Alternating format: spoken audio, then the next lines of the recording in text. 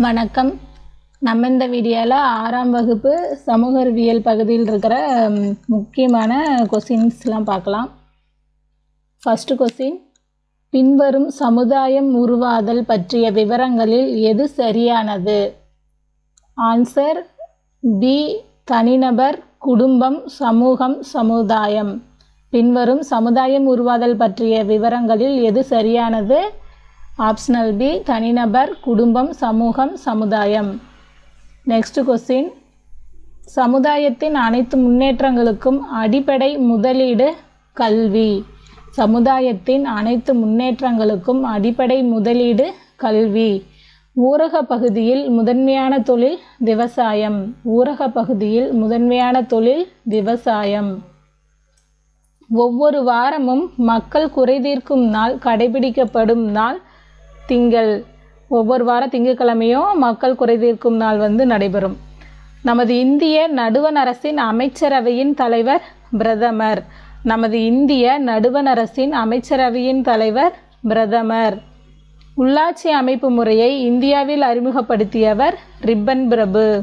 உள்ளாட்சி அமைப்பு முறையை இந்தியாவில் அறிமுகப்படுத்தியவர் ரிப்பன் பிரபு. ஊராட்சி மன்ற தலைவர் டேஸால் தேர்ந்தெடுக்கப்படுகிறார் மக்களால். ஊராட்சி மன்ற தலைவர் மக்களால் தேர்ந்தெடுக்கப்படுகிறார். ஊராட்சி ஒன்றியம் ஐயாயிரம் மக்கள் மாவட்ட ஊராட்சி ஐம்பதாயிரம் மக்கள் பேரூராட்சி பத்தாயிரம் மக்கள் நகராட்சி ஒரு லட்சத்துக்கும் மேல் மாநகராட்சி பல லட்சம். ஊராட்சி ஒன்றியம் வந்து ஒரு ஐயாயிரம் வரை இருக்கிற மக்கள் வாழ்கிற பகுதி வந்து ஊராட்சி ஒன்றியம்னு சொல்கிறாங்க மாவட்ட ஊராட்சி ஐம்பதாயிரம் பேரூராட்சி பத்தாயிரம் நகராட்சி ஒரு லட்சத்துக்கும் மேல் மாநகராட்சி பல லட்சம். மாநகராட்சியின் தலைவர் மேயர் மாநகராட்சியின் தலைவர் மேயர்.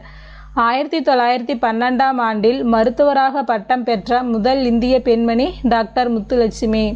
ஆயிரத்தி தொள்ளாயிரத்தி பன்னெண்டில் மு- மருத்துவராக பட்டம் பெற்ற முதல் இந்திய பெண்மணி டாக்டர் முத்துலட்சுமி. ஆயிரத்தி தொள்ளாயிரத்தி முப்பதாம் ஆண்டில் அன்னை முத்துலட்சுமி அடையாற்றில் தொடங்கிய இல்லம் அவ்வை இல்லம். ஆயிரத்தி தொள்ளாயிரத்தி முப்பதாம் ஆண்டில் அன்னை முத்துலட்சுமி அடையாற்றில் தொடங்கிய இல்லம் அவ்வை இல்லம். இந்த இயரும் பார்த்து வச்சுக்கோங்க. அவ்வை இல்லம் தொடங்கிய வருடம்னு கூட கேட்கலாம். அதனால் இயரும் நல்லா பார்த்து வச்சுக்கோங்க. டாக்டர் முத்துலட்சுமிக்கு மைய அரசு பத்மபூஷன் விருது வழங்கிய ஆண்டு ஆயிரத்தி தொள்ளாயிரத்தி ஐம்பத்தாறு. டாக்டர் முத்துலட்சுமிக்கு மைய அரசு பத்மபூஷன் விருது வழங்கிய ஆண்டு ஆயிரத்தி தொள்ளாயிரத்தி ஐம்பத்தி ஆறு. குடியரசில் குடிமக்கள் எல்லோரும் சம உரிமை உடையவர்கள். குடியரசில் குடிமக்கள் எல்லோரும் சம உரிமை உடையவர்கள். வியாழன் சனி யுரேனஸ் நெப்டியூன் ஆகிய நான்கு கோள்களும் டேஸ் எனப்படுகின்றன. வாயுக்கோள்கள். வியாழன் சனி யுரேனஸ் நெப்டியூன் ஆகிய நான்கு கோள்களும் வாயுக்கோள்கள். ஃபர்ஸ்ட் இருக்கிற அந்த நாலு கோளும் வந்து திடக்கோள்கள். புதன் வெள்ளி பூமி செவ்வாய் இந்த நாளும் திடக்கோள்கள்.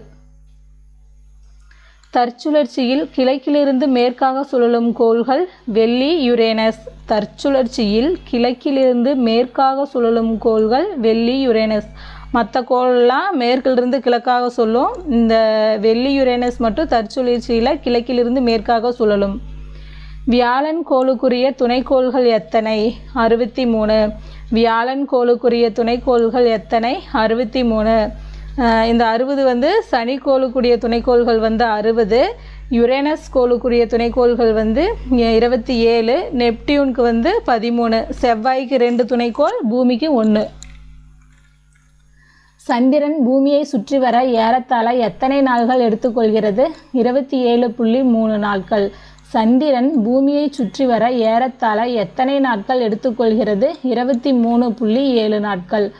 ஆயிரத்தி தொள்ளாயிரத்தி ஐம்பத்தி ஒன்பதில் முதன் முதலில் நிலவின் மறுபக்கத்தை படம் பிடித்த செயற்கைக்கோள் லூனா த்ரீ. ஆயிரத்தி தொள்ளாயிரத்தி ஐம்பத்தி ஒன்பதில் முதன் முதலில் நிலவின் மறுபக்கத்தை படம் பிடித்த செயற்கைக்கோள் லூனா த்ரீ. தொலைநோக்கியில் மட்டும் புலப்படும் கோள்கள் யுரேனஸ் நெப்டியூன். தொலைநோக்கியில் மட்டும் புலப்படும் கோள்கள் யுரேனஸ் நெப்டியூன். குறுங்கோள்களின் பாதை செவ்வாய்க்கும் வியாழனுக்கும் இடையே. குறுங்கோள்களின் பாதை செவ்வாய்க்கும் வியாழனுக்கும் இடையே.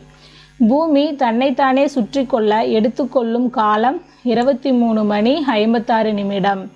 பூமி தன்னைத்தானே சுற்றி கொள்ள எடுத்துக்கொள்ளும் காலம் இருபத்தி மூணு மணி ஐம்பத்தாறு நிமிடம். இதில் இந்த நிமிடம் கூட கரெக்டாக பார்த்து வச்சுக்கணும். இது முன்ன பின்ன கொடுத்து கேட்பாங்க. சம இரவு பகல் கொண்ட நாள் மார்ச் இருபத்தி ஒன்று செப்டம்பர் இருபத்தி மூணு. சம இரவு பகல் கொண்ட நாள் மார்ச் இருபத்தி ஒன்று செப்டம்பர் இருபத்தி மூணு. இந்த டிசம்பர் இருபத்தி ரெண்டு ஜூன் இருபத்தொன்று வந்து இது வந்து தென்னோட்டம் இது வந்து வட ஓட்டம்னு சொல்லுவாங்க. ஜூன் இருபத்தி ஒன்று வந்து வட ஓட்டம் பூமியின் அச்சு டேஸ் டிகிரி சாய்ந்துள்ளது. இருபத்தி மூணரை டிகிரி. பூமியின் அச்சு இருபத்தி மூணரை டிகிரி சாய்ந்துள்ளது. பூமி தன்னைத்தானே சுற்றுவதால் ஏற்படும் விளைவு இரவு பகல் மாற்றம். பூமி தன்னைத்தானே சுற்றுவதால் ஏற்படும் விளைவு இரவு பகல் மாற்றம். பூமி வந்து இருபத்தி மூணு டிகிரி சாய்வாக இருக்கிறதுனால ஏற்படுறது பருவகால மாற்றம். துருவ பகுதியில் ஆறு மாதம் பகலாகவும் ஆறு மாதம் இரவாகவும் இருக்க காரணம் புவியச்சு சாய்வு. பூமி சா அந்த புவியச்சு வந்து சாய்வாக இருக்கிறதுனால தான் துருவ பகுதியில் ஆறு மாதம் பகலாகவும் ஆறு மாதம் இரவாகவும் இருக்குது உலகின் மிக உயரமான பீடபூமி திபெத் பீடபூமி. உலகின் மிக உயரமான பீடபூமி திபெத் பீடபூமி. உலகின் மிக நீளமான நைல் நதி எந்த கண்டத்தில் பாய்கிறது? ஆப்பிரிக்கா. உலகின் மிக நீளமான நைல் நதி எந்த கண்டத்தில் பாய்கிறது? ஆப்பிரிக்கா. இந்த வட அமெரிக்காவில் பார்த்தீங்கன்னா ராக்கி மலைத்தொடர் இருக்கும். தென் அமெரிக்காவில் வந்து ஆண்டிஸ் மலைத்தொடரும் அமேசான் நதியும் இந்த தென் அமெரிக்காவில் பாயும். அமேசான் நதி வந்து தென் அமெரிக்காவில் பாயும். அப்புறம் ஆண்டிஸ் மலைத்தொடர் இருக்கும். வட அமெரிக்காவில் ராக்கி மலைத்தொடர் இருக்கும். ஆல்ப்ஸ் மலைத்தொடர் காணப்படும் கண்டம் ஐரோப்பா. ஆல்ப்ஸ் மலைத்தொடர் காணப்படும் கண்டம் ஐரோப்பா. ஆஸ்திரேலியா பார்த்தீங்கன்னா இது வந்து தீவு கண்டம்னு சொல்லுவாங்க. இதில் வந்து பவளப்பாறைகள் வந்து அதிகமாக இருக்கும். அண்டார்டிகாவில் பார்த்தீங்கன்னா பென்குவின் வாழ்றதுக்கான துருவப்பகுதி வந்து அண்டார்டிகா கண்டம். ஆஸ்திரேலியாவில் வந்து கிராண்ட் ஃபேரியர் ரீப் அப்படிங்கிற பவளப்பாறை இருக்குது நான்கு பக்கமும் கடலால் சூழப்பட்ட நிலப்பகுதி தீவு. நான்கு பக்கமும் கடலால் சூழப்பட்ட நிலப்பகுதி தீவு. தீபகற்பம் அப்படிங்கிறது மூன்று பக்கம் கடலாலும் ஒரு பக்கம் நிலமாக இருக்கிறதா வந்து தீபகற்பம். நம்ம இந்தியா வந்து ஒரு தீபகற்பம். உலகின் மிக ஆழமான மரியானா அகலே அமைந்துள்ள பெருங்கடல் பசிபிக் பெருங்கடல். உலகின் மிக ஆழமான மரியானா அகலே அமைந்துள்ள பெருங்கடல் பசிபிக் பெருங்கடல். உலக உருண்டையில் கிழக்கு மேற்காக செல்லும் கற்பனை கோடுகளின் பெயர் அச்சக்கோடு. உலக உருண்டையில் கிழக்கு மேற்காக செல்லும் கற்பனை கோடுகளின் பெயர் அச்சக்கோடு. ஜீரோ டிகிரி தீர்க்கக்கோடு என்பது கிரீன்விச் கோடு. ஜீரோ டிகிரி தீர்க்கக்கோடு என்பது கிரீன்விச் கோடு. நாடுகள் கண்டங்கள் தலைநகரங்கள் போன்றவற்றை உள்ளடக்கிய வரைபடத்தை டேஸ் என அழைப்பர். அரசியல் வரைபடம்.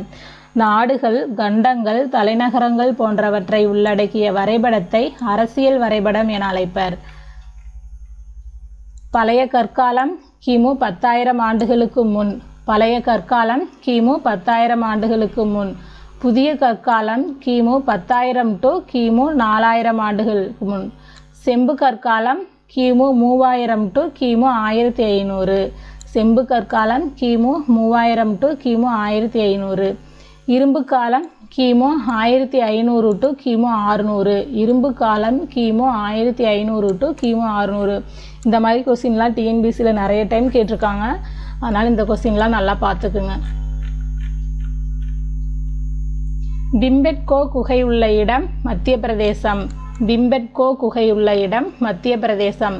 ஆதி மனிதன் முதலில் பழகிய விலங்கு நாய். ஆதி மனிதன் முதலில் பழகிய விலங்கு நாய்.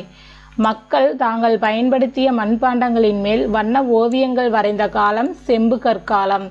மக்கள் தாங்கள் பயன்படுத்திய மண்பாண்டங்களின் மேல் வண்ண ஓவியங்கள் வரைந்த காலம் செம்பு கற்காலம். மனிதனுக்கு முதன் முதலில் தெரிந்த உலோகம் செம்பு. மனிதனுக்கு முதன் முதலில் தெரிந்த உலோகம் செம்பு. ஹரப்பா என்ற சிந்துமொழி சொல்லுக்கு டேஸ் என்று பொருள். புதையுண்ட நகரம். கரப்பா என்ற சிந்துமொழி சொல்லுக்கு டேஸ் என்று பொருள் புதையுண்ட நகரம். இடுகாட்டு மேடு அப்படிங்கிறது மொகஞ்சதாரா மொகஞ்சதாரா என்ற சொல்லுக்கு தான் வந்து இடுகாட்டு மேடு என்று பொருள். சிந்துவெளி மக்களுக்கு தெரிந்திராத உலோகம் இரும்பு. சிந்துவெளி மக்களுக்கு வந்து நல்லா தெரிஞ்சது வந்து செம்பு அவங்க அறியாத உலோகம் வந்து இரும்பு. சிந்துவெளி மக்களுக்கு தெரிந்திராத உலோகம் இரும்பு. லோத்தல் எனும் செம்பு கற்கால துறைமுகம் காணப்படும் இடம் பஞ்சாப். லோத்தல் எனும் செம்பு கற்கால துறைமுகம் காணப்படும் இடம் பஞ்சாப். சிந்துவெளி அகழ்வாராய்ச்சி மேற்கொள்ளப்பட்ட ஆண்டு ஆயிரத்தி தொள்ளாயிரத்தி இருபத்தி ஒன்று சிந்துவெளி அகழ்வாராய்ச்சி மேற்கொள்ளப்பட்ட ஆண்டு ஆயிரத்தி தொள்ளாயிரத்தி இருபத்தி ஒன்று ஹரப்பா நாகரிகம் ஒரு நகர நாகரிகம். ஹரப்பா நாகரிகம் ஒரு நகர நாகரிகம். தமிழ்நாடு என்று அண்ணாவால் பெயர் சூட்டப்பட்ட வருடம் ஆயிரத்தி தொள்ளாயிரத்தி அறுபத்தி ஏழு. தமிழ்நாடு என்று அண்ணாவால் பெயர் சூட்டப்பட்ட வருடம் ஆயிரத்தி தொள்ளாயிரத்தி அறுபத்தி ஏழு. உலகிலேயே மிக தொன்மையானதென வரலாற்று அறிஞர்களால் கருதப்படுவது விந்திய மலைக்கு தெற்கில் உள்ள பகுதி. உலகிலேயே மிக தொன்மையானதென வரலாற்று அறிஞர்களால் கருதப்படுவது விந்திய மலைக்கு தெற்கில் உள்ள பகுதி. மனித இனம் முதன் முதலாக தோன்றியதாக கருதப்படும் இடம் லெமூரியா. மனித இனம் முதன் முதலாக தோன்றியதாக கருதப்படும் இடம் லெமூரியா. இடைச்சங்கம் நடைபெற்ற நகரம் கபாடபுரம். இடைச்சங்கம் நடைபெற்ற நகரம் கபாடபுரம். ரிக்வேத காலம் கிமு ஆயிரத்தி ஐநூறு டு கிமு ரிக்வேத காலம் கிமு ஆயிரத்தி ஐநூறு டு கிமு ஆயிரம். ரிக்வேத காலம் கிமு ஆயிரத்தி ஐநூறு டு கிமு ஆயிரம். சாரி இது டைப்பிங் மிஸ்டேக் வந்துருச்சு. ரிக்வேத காலத்தில் வாணிகத்தில் பயன்படுத்தப்பட்ட தங்க நாணய அலகு நிஸ்கா ரிக்வேத காலத்தில் வாணிகத்தில் பயன்படுத்தப்பட்ட தங்க நாணய அலகு நிஸ்கா பின்வேத காலத்தில் கல்வியில் சிறந்து விளங்கிய பெண்களுள் ஒருவர் கார்கி. பின்வேத காலத்தில் கல்வியில் சிறந்து விளங்கிய பெண்களுள் ஒருவர் கார்கி. கிராமத்தின் தலைவர் கிராமணி. கிராமத்தின் தலைவர் கிராமணி. இந்த சபா அப்படிங்கிறது வந்து முதியோர் அவை சமிதி அப்படிங்கிறது ஊர் மக்கள் கொண்ட பிர- ஊர் மக்களின் பிரதிநிதிகள் கொண்ட அவை. கிராமத்தின் தலைவர் கிராமணி. முதல் தீர்த்தங்காரர் ஆதிநாதர் முதல் தீர்த்தங்காரர் ஆதிநாதர். இவரை வந்து ரிஷபதேவர் அப்படின்னு சொல்லுவாங்க. முதல் தீர்த்தங்காரர் வந்து ஆதிநாதர் அப்படிங்கிற ரிஷபதேவர். சமண மதத்துக்கு உறுதியான அமைப்பை தந்தவர் மகாவீரர். சமண மதத்துக்கு உறுதியான அமைப்பை தந்தவர் மகாவீரர். சமண சமயம் மிகவும் வலியுறுத்திய கொள்கை கொல்லாமை. சமண சமயம் மிகவும் வலியுறுத்திய கொள்கை கொல்லாமை. தமிழ்நாட்டில் சமண சிற்பங்கள் காணப்படும் இடங்களுள் ஒன்று கழுகுமலை. தமிழ்நாட்டில் சமண சிற்பங்கள் காணப்படும் இடங்களுள் ஒன்று கழுகுமலை. புத்தர் அறிவுணர்வு பெற்ற இடம் கயா. புத்தகயா புத்தர் அறிவுணர்வு பெற்ற இடம் கயா. இந்த குந்த கிராமம் அப்படிங்கிறது வந்து மகாவீரர் பிறந்த இடம். மான் பூங்கா அப்படிங்கிறது புத்தர் வந்து முதன் முதல்ல போதனை நடத்திய இடம் தான் வந்து மான் பூங்கா. புத்தர் அறிவுணர்வு பெற்ற இடம் கயா புத்த கயா பௌத்த மதத்தை பின்பற்றிய அரசர்களில் முக்கியமானவர் அசோகர். பௌத்த மதத்தை பின்பற்றிய அரசர்களில் முக்கியமானவர் அசோகர். வெற்றியாளர் அல்லது ஜீனர் என்று அழைக்கப்பட்டவர் மகாவீரர். வெற்றியாளர் அல்லது ஜீனர் என்று அழைக்கப்பட்டவர் மகாவீரர். கோமாதீஸ்வரர் சிற்பம் அமைந்துள்ள இடம் சிரவணபெலகொலா கோமாதீஸ்வரர் சிற்பம் அமைந்துள்ள இடம் சிரவணபெலகுலா. புத்தரின் போதனைகள் திரிபீடகம் என்று அழைக்கப்பட்டது. புத்தரின் போதனைகள் திரிபீடகம் என்று அழைக்கப்பட்டது. சமணரோட சாரி மகாவீரரோட போதனைகள் வந்து மும்மணிகள் புத்தரின் போதனைகள் திரிபீடகம் என்று அழைக்கப்பட்டது. பாடலிபுத்திரம் எனும் கோட்டையை அமைத்தவர் அஜாது சத்ரு. பாடலிபுத்திரம் எனும் கோட்டையை அமைத்தவர் அஜாது சத்ரு. மெகஸ்தனிஸ் எழுதிய நூல் இண்டிகா. மெகஸ்தனிஸ் எழுதிய நூல் இண்டிகா. இந்த செலுகாஸ் நிக்கோடரின் தூதுவர் தான் வந்து மெகஸ்தனிஸ். அசோகர் அரியணை ஏறிய ஆண்டு கிமு இரநூத்தி எழுவத்தி மூணு. அசோகர் அரியணை ஏறிய ஆண்டு கிமு இரநூத்தி எழுவத்தி மூணு. மூன்றாவது பௌத்த மாநாடு நடைபெற்ற இடம் பாடலிபுத்திரம். மூன்றாவது பௌத்த மாநாடு நடைபெற்ற இடம் பாடலிபுத்திரம்.